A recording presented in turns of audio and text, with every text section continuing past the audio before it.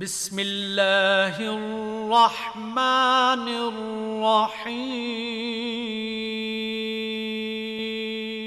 الذي أنزل أفضل الكتاب على أفضل العرب والعجم والصلاة والسلام على سيد الأنبياء والمرسلين وعلى آله وصحبه ومن تبعهم بإحسان إلى يوم الدين.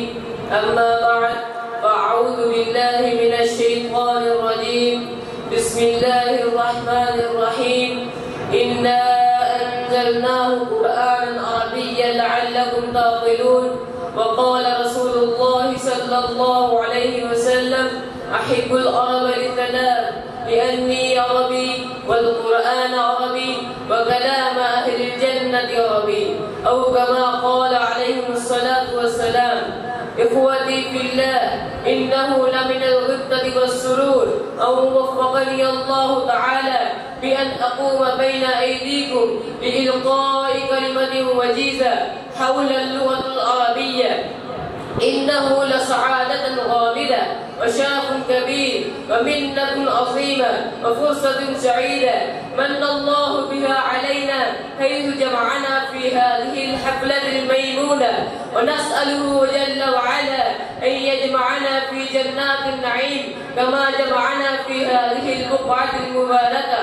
أحبتي في الله لا شك أن اللغة العربية لها دور كبير ومكانة عظيمة في نشر العلوم الإسلامية.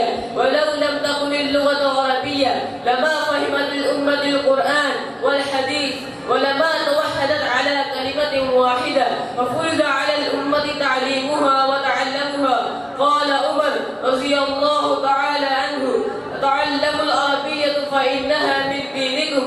وقال ابن تيمية رحمه الله العربية من الدين وتعليمها واجب.